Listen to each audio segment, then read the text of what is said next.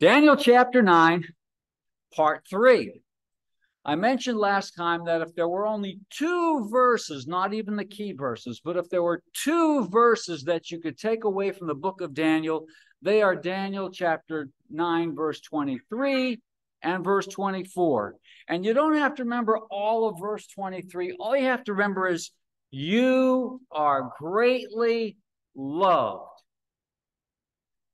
We're going to spend the rest of the day, the rest of the morning, talking about verse 24, God's prophetic plan for Israel's future. Now, we already covered verses 25 through 27 last class. We're going to talk about this one verse today. It begins by saying 70 weeks are decreed about your people and your holy city. It's followed by six infinitives, but I wanted to make a note that of those six accomplishments, while they're addressed to Israel, all of humanity is going to be radically impacted. Before Israel got their real estate in 1948, a lot of Bible scholars decided to substitute the church for Israel. That's a big, bad mistake. These blessings are meant for your people, Israel, and your city, Jerusalem, we just happen to be benefactors of those Jewish blessings. We'll be looking at this picture several times. Don't bother with the details. I wanted to use this picture to explain the human, the, the rest of humanity impact of the blessings of Israel. So here you see Genesis chapter 12, the Abrahamic covenant. Now the Lord had said unto Abram, Get thee out of thy country, and from thy kindred, and from thy father's house, unto a land that I will show you. In that millennial reign, they are going to have a piece of real estate. The real estate, not that skinny thing that you look on maps today, but the real estate as promised to Abram, and that was from the Nile to the Euphrates. They're going to have a piece of real estate and I will make of thee a great nation, a great people. And the real estate is going to belong to Israel. They got that sliver today. They're going to get the whole piece. And make thy name great, and thou shalt be a blessing. We're going to see the blessings that fall upon Israel. We're not studying the full millennial reign. That's Revelation chapter 20. You can go out to YouTube and see that thing. But these folks are going to get a super blessing based on those six infinitives. And I will bless them that bless thee and curse them that curse thee. I wanted to finish this particular verse and explain the blessings and the cursings. The ultimate curse on the nation of Israel was from the Antichrist. And Revelation chapter 19, you see the beast and the false prophet thrown into the lake of fire. After the millennial reign, you'll see the dragon, the serpent cast into the lake of fire. I'll bless them that bless thee. And here's the kicker this is the point I wanted to make. And in thee, all families of the earth shall be blessed. Now, I'm going to get a blessing totally independent of that because I've been saved. And I'll show this because a lot of people, when you talk about end times, you can see them starting to wringing their hands and the mark of the beast and the guillotine and all this other stuff. I believe in a pre trib rapture. I believe in a literal millennial reign. When we see verses that talk about the mountains melt, you see verses about the mountains shrinking and the islands fleeing. I believe all that, literally. There are some people that don't. There's some people that don't even believe in a millennial reign. I said, How can you do that? But I'm here to tell you, and I will have a reservation that you'll see shortly. I'm here to explain what I believe and why I believe it. So, there are six infinitives in that particular verse to finish the transgression, to put an end to sin, and to atone for iniquity. Now, all you grammar scholars if there were a list, you only see the word and at the end of the list. But you see two ands, one in verse 3 and one in verse 6. That means there are two groupings. One, two, and three deal with sin, and four, five, and six deal with righteousness, putting away the negative, bringing in the positive. So they tell you that tell them what you're going to tell them, tell them, and then tell them what you told them. So here we go. A summary of the six goals of Daniel 924. Everything promised, everything prophesied, everything hoped for by the nation of Israel is summed up in these six infinitives. Now, if we talked about this, this quote came from a commentator. If we talked about the 77s, well, I don't think Israel's hoping to be put into the Great Tribulation. So let's simply said everything hoped for is brought to fruition in these six infinitives, delivering the Jews from the Babylonian captivity. This chapter started with Daniel praying. And he prayed a confession. He said, We as a nation have sinned. And he threw himself in there, first person. We of a nation have sinned. And then he prayed that they'd be given the land back he prayed that the temple would be re sanctified. And the response here is yes, they're going to be given the land back, not the, not the chunk that he left, but the whole piece, the Nile to the Euphrates. And he's going to see the Messiah. And we're going to see as we dig into this how the Jewish people at the time of the millennial reign will receive the Messiah. The Bible says, and they shall look upon him whom they have pierced. Well, how did their Messiah get pierced if it weren't for the first coming of Jesus, the real Messiah, the coming of that first Palm Sunday? They'll be delivered from their transgression at the Messiah's advent. And we're going to spend a good chunk, a good focus talking about that word transgression. Because how you view the millennial reign, the kind of sin that's committed, who's going to commit that sin, is all based upon the question or the answer to the question what is the transgression of Jacob? And ultimately, complete deliverance from oppression at the second coming of Christ. When the Pharisees spoke to Jesus and they accused him of being a bastard, they said, We be of Abraham's seed. And they said, We've never been under oppression. Well, they were always under oppression from the Babylonian captivity clear on through the, the Persians, the Greeks, the Romans, and they've been scattered ever since. We're going to see a regathering of, of Israel. We're not going to cover the verse of, of the, today about the valley of the dry bones, but this is what we're going to see. Israel is going to be resurrected and brought back to, to the, the land. Three great milestones, two great recipients. We talked about the two great recipients already. The three great milestones are the first coming of the Prince, Palm Sunday, the doing away of sin, Calvary. We're going to see the second coming of Jesus, the setting down of his foot on Mount Olive. And we're going to ask the question who are the people in that area at that time? And then you see the dotted line over there at the end of the millennial reign? That comes back to the question what is the transgression of Jacob? So those are the three great milestones, maybe two. That's why the one's dotted line. And those are the two great recipients Israel and the nations, everybody else. Let's avoid dueling prophecies, dueling calendars. I'd like to share with people what I believe and why I believe it. I was introduced to a concept this week that I need to explore, but I wasn't going to postpone this class because I need to explore that. Uh, I'm going to show you that when the millennial reign starts, every person that comes into the millennial reign is saved. The concept that was shared with me this week was all of the born, those not born again, all those born of Jewish people during the millennial reign are sinless. Now, I find that such a very strange concept that a person born after Adam be born sinless. I'm not ready to accept that. But I will show you verses where you can scratch your head and say, you know, it, it could be.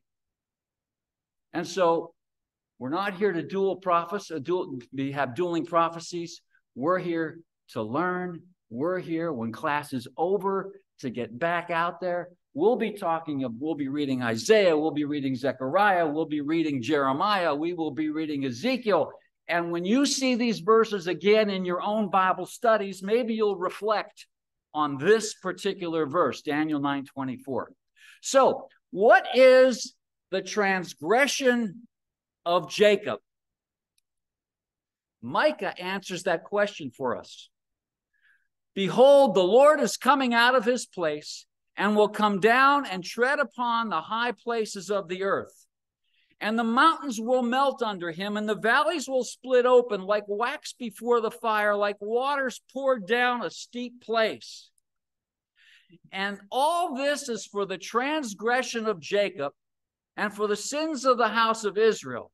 So there's the question what is the transgression of Jacob? And then Micah answers it Is it not Samaria? What is the transgression of Jacob? It's idolatry. Now, the trick here, and what you're going to see as I dig deeper into this, you're going to see three X's in brackets. That is there for two reasons. One, for me to comment on this new concept that I was exposed to, but also there for me to do my own studies afterwards. So follow the bouncing ball. To put an end to sin, that this particular slide I borrowed, but uh, we'll get to numbers one through number six. Ezekiel 36, and I will give you a new heart, and a new spirit I will put within you. And I will re- remove the heart of stone from your flesh and give you a heart of flesh. And I will put my spirit within you and cause you to walk in my statutes and be careful to obey my rules. XXX.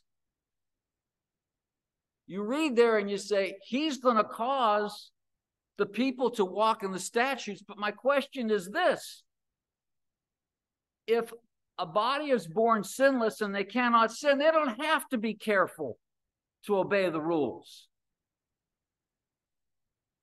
Bear with me. They shall not defile themselves any more with their idols. This goes back to the Micah uh, definition of the transgression of Jacob. They'll not go back to their idols. And with their detestable things, or with any of their transgressions. So that could mean any of their sins carte blanche, or it could mean idolatry that doesn't require an idol. What is that? People have been known to worship the sun. People have been known to worship the stars. And you don't need to create an idol because there it is.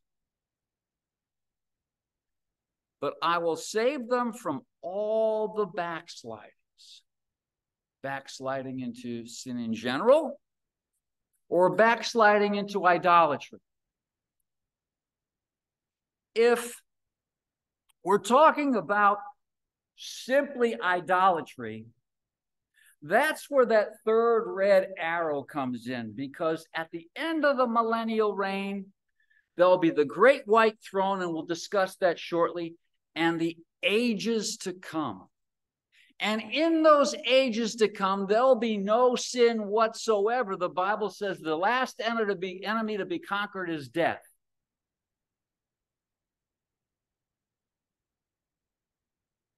So, three great milestones, two great recipients, which begs the question during the, the millennial reign, who are the sinners? Is it everybody that's been born during that period? Or is it just the Gentiles? Who are the sinners?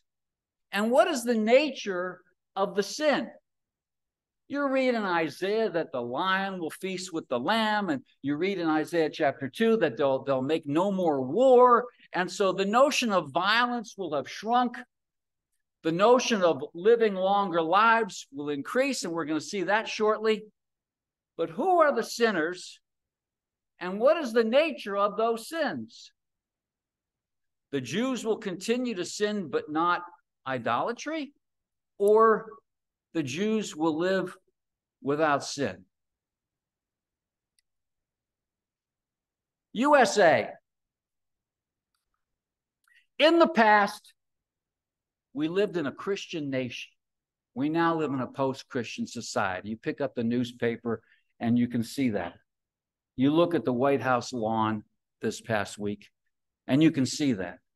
And I can't imagine what's going to happen on the 4th of July. I hope we have a traditional 4th of July. But in the past, we lived in a Christian nation, but of course, there were individuals that were lost. Today, our nation is lost. We live in a post Christian society, but individuals continue to be saved. Praise God. We had a vacation Bible school here, and I hope that we get a report that young kids have come to, to see Jesus, to know Jesus. Israel. Today, the nation is lost. We're going to read from Romans chapter 11 how Paul talks about that until the fullness of the Gentiles has been completed but individuals are saved. I have some observant Jewish friends that I pray, I pray, and I pray for. Then, millennial reign, the nation will be saved. I'm going to show you that. Will individuals be lost, or will all the Jewish individuals be saved? Who, who, who, and who? Who is around at the time of the rapture? Who is going through the great tribulation? Who is going to be there at the moment Jesus comes back on the Mount of Olives? And who is going to be living in the millennial reign? Who is going to sin and what is the nature of the sinner? So, I mentioned to you that some people all of a sudden get a degree of angst when they hear about end times, you know, the mark of the beast and the guillotine and the, the chasing, and uh, won't be able to buy or sell anything. We live in a church age. And if you've been saved, you will be raptured. And at that rapture time, this body, this mortal is going to put on immortality. This corruption is going to put on immortality. The church is going to be in heaven during that great tribulation period. Then we who are alive, who are left, will be caught up together with them in the clouds to meet the Lord in the air. And so we will always be with the Lord. If you want to know where you're going to be after the rapture, read your Bibles, figure out where Jesus is, and that's where you will be too. The church is coming back. The church is coming back. We're going to witness the battle of Armageddon. And the Bible says that we will rule and reign with him a thousand years. At the end of those thousand years, there's going to be this great white throne judgment. And people say, well, will there will there be the, the church at the great white throne? We will be there as spectators. The Bible says that Jesus will be surrounded by his host. Well, how do we know that I'll be there? Look at the verse we just covered. We will always be with the Lord. Questions about where the church is going to be.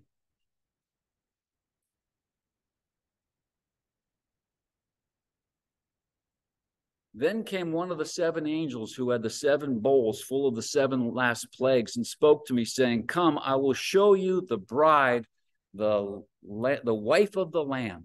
That's me. That's you if you've been saved. And he carried me away in the spirit to a great high mountain and showed me the holy city of Jerusalem coming down out of heaven from God. And I saw no temple in the city, for its temple is the Lord God, the Almighty, and the Lamb. People ask the question who is going to live in the New Jerusalem? Am I going to live in the New Jerusalem? Am I going to live in the new earth? Am I going to live in heaven? The concept is this we will always be with the Lord. To make this very, very simple. And we read here, and they say, I will show you the bride, the wife of the Lamb. And I saw no city, no temple in the city, for its temple is the Lord God Almighty and the Lamb. The Bible never says that the New Jerusalem hits the earth. It says he sees it coming down from the earth. And if Jesus is going to be in the New Jerusalem, I'm going to be in the New Jerusalem. And if Jesus is going to be in heaven, I'm going to be in heaven. If Jesus is going to be on the earth, I'm going to be on the earth because I'm going to be with him forever. At the time of the rapture, saved people are gone. So, by definition, that leaves just lost people, Jews and Gentiles. This is why I'm a big fan of child evangelism. This is why I pray for our kids' Sunday school classes. This is why I pray for Vacation Bible School. The coming of the lawless one is by the activity of Satan with all power and false signs and wonders, and with all wicked deception for those who are perishing, because they refuse to love the truth and so be saved. Therefore, God sends them a strong delusion folks that are alive at the time of the rapture, lost, that have been pricked by the Holy Spirit and have rejected Him, they have no chance during the Great Tribulation period. They're destined to die, they're destined for hell. On the other hand, many Jews and Gentiles will be saved. Folks that had not been pricked by the Holy Spirit. And we read minimally about the 144,000 Jews, and we read about thousands upon thousands of the nations that are being saved. Which begs the question when all these folks come together, when Jesus sets foot on the Mount of Olives, what's going to happen? They say, John, I thought we are here to talk about Daniel 9, verse 24. This is all Daniel 9, verse 24. So there's a close up picture. What's going to happen? The church is coming. They're coming for the battle of Armageddon as spectators, and we'll rule and reign. The tribulation martyrs are coming. Those that died but weren't martyred will have to wait for the end of the thousand years. The Jews, lost and saved, are coming. And the Gentiles, lost and saved are coming. Now, we're going to see in the next few verses that only the saved people step across into the millennial reign. Saved Jews and Gentiles step into the millennial reign. And again, that begs the question who are the sinners and what is the nature of the sin? As I live, declares the Lord God, surely with a mighty hand and an outstretched arm and with wrath poured out, I will be king over you. The question becomes when they say the wrath poured out, is that historic? Is that the great tribulation? Or is there continuing to be a wrath of the Lord who's ruling with a rod of iron, meaning inflexible, ruled by the law? Is that rod of iron meant for all the inhabitants unglorified in the millennial reign, or is it meant just for the Gentiles? I will bring you out from the peoples and gather you out of the countries where you are scattered, and with a mighty hand and an outstretched arm, and with wrath poured out. He's pulling them through the great tribulation, and there's certainly a wrath that the people have to come through. But will the wrath continue? And I will bring you into the wilderness of the peoples, and there I will enter into judgment with you face to face.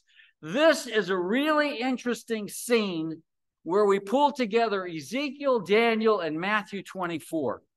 As I entered into judgment with your fathers in the wilderness of the land of Egypt, so I will enter into judgment with you, declares the Lord God. I will make you pass under the rod, and I will bring you into the bond of the covenant. The picture here is the shepherd, and the sheep are coming to the sheepcote, to the to the secure place, the millennial reign.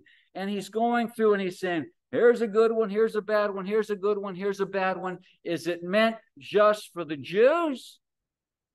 No.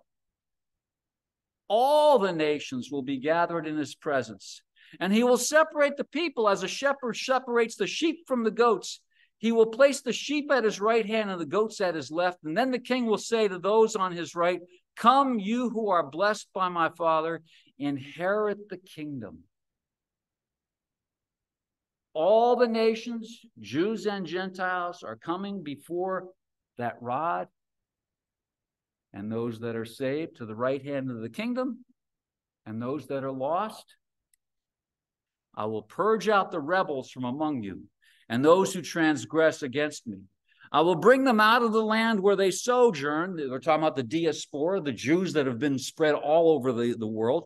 I will bring them out of the land where they sojourn, but they shall not enter the land of Israel. Who? The rebels, the lost.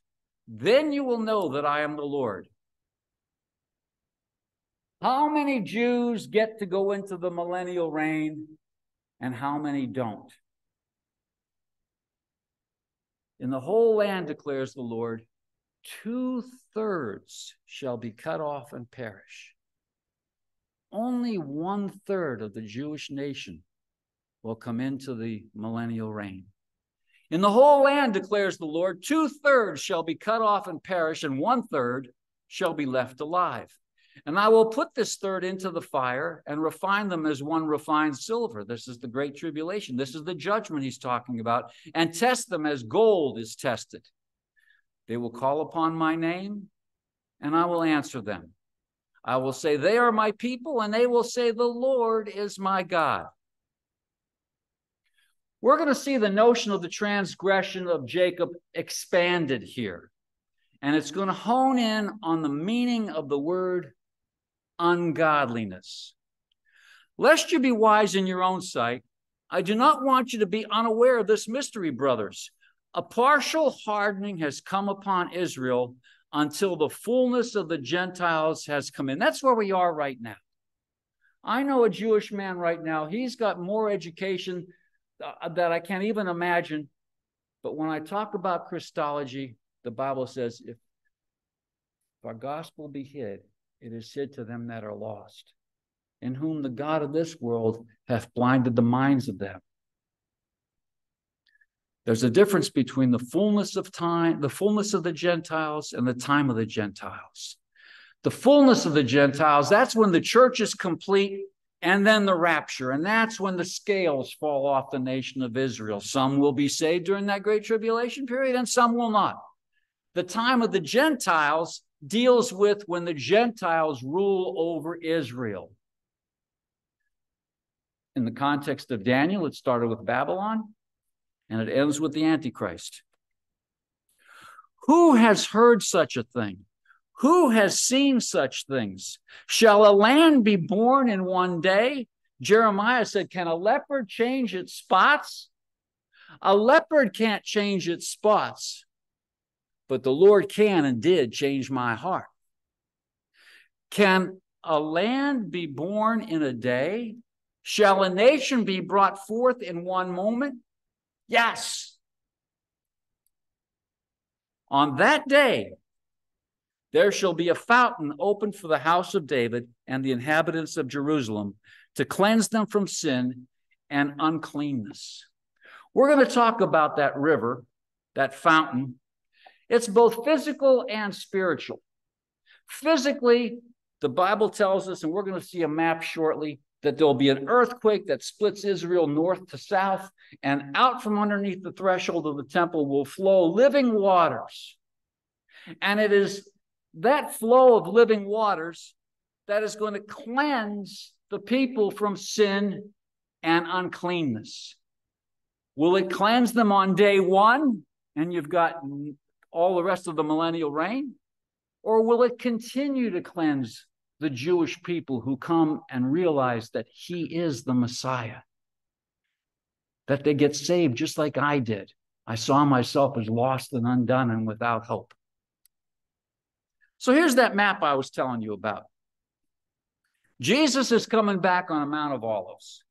He's going down through the Kidron Valley.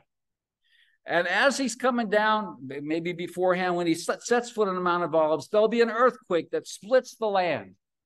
The topography is going to change. We just talked about the mountains melting away. Jerusalem will ultimately be absolutely the high point on the earth, and the waters will flow. That's all Zechariah 14. Ezekiel 47 talks about the Dead Sea. The Bible says, and the, the fishermen will hang their nets along Engedi to Eneglaim. In other words, there's going to be fishing in the Dead Sea. Well, I was in the Dead Sea. It isn't just dense that I started bobbing before the water hit my waist. They had a little sign there that said, if you've got any open wounds, any scratch, do not go in that water. It'll eat you alive.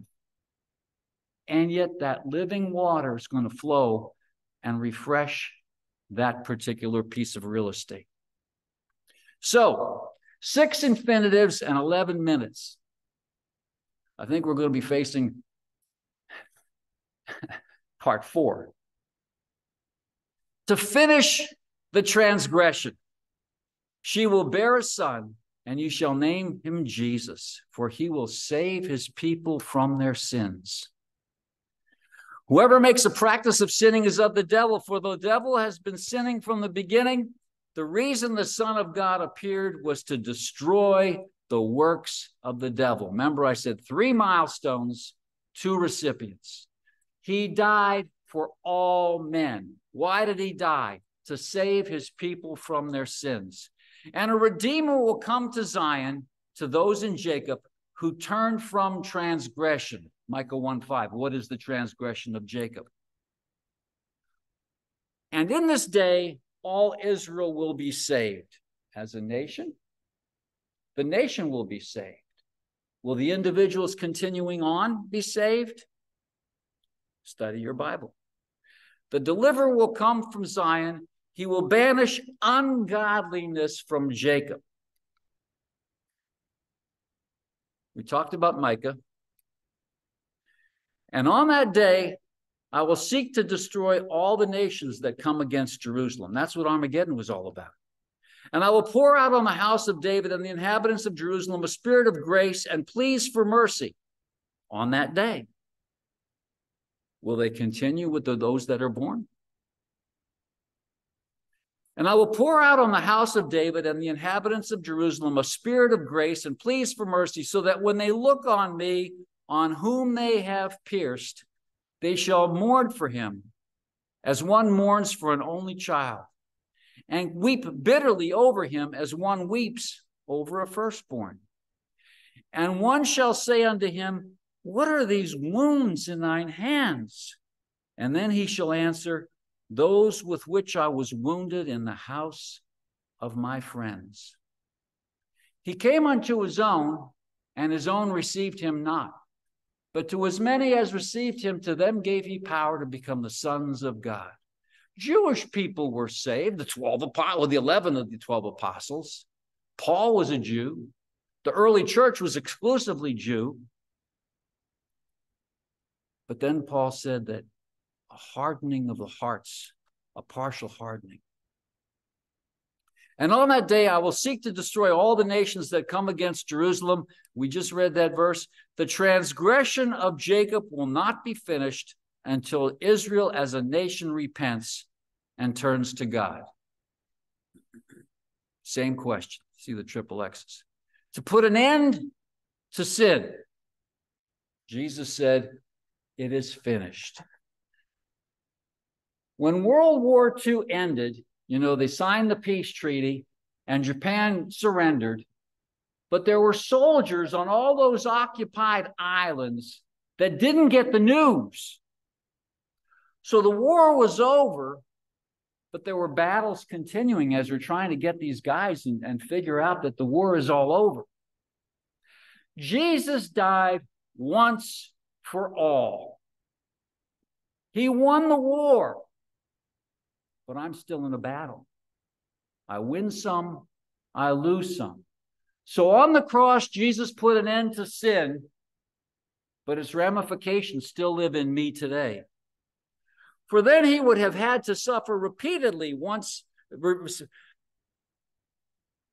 For then he would have had to suffer repeatedly since the foundation of the world. But as it is, he appeared once for all. He died for all the sins, past, present, and future. He died for all the people, past, present, and future. And in this way, all Israel will be saved. As it is written, the deliverer will come from Zion. He will banish ungodliness from Jacob. So, what does that word ungodliness mean? It comes with a prefix that means not, and then the word itself that means devout or religious or worship. If a body says, oh, he's ungodly in the way we talk today, you might say, well, that means he's, he's a scoundrel. He, he, he is, he's not moral. But that's not what the word ungodliness means. The word ungodliness means no God. Thou shalt not have strange gods before me. The punishment of your iniquity, O daughter of Zion, is accomplished. He will keep you in exile no longer. This is the book of Lamentations. This is Jeremiah who wrote this while the people were exiled in Babylon. And he says, This is the con this is the purpose. He says, the punishment of your iniquity, Israel, is accomplished. He will keep you in exile no longer. Why did they go into exile? Idolatry. Why were they being pulled? Why will they have been pulled out of exile for the millennial reign? Idolatry no longer. On that day, declares the Lord of hosts, I will cut off the names of the idols from the land, so that they shall be remembered no more. We read that already. Number three, and to atone for iniquity. That word at one was invented by Tyndale in his first translation to the English Bible. He, there was no English word that says, you know, bring them together, and he came up with at one, atonement.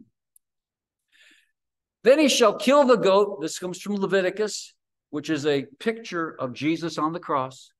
Then he shall kill the goat of the sin offering that is for the people, and bring its blood inside the veil, and do with its blood as he did with the blood of the bull, sprinkling it over the mercy seat and in front of the mercy seat.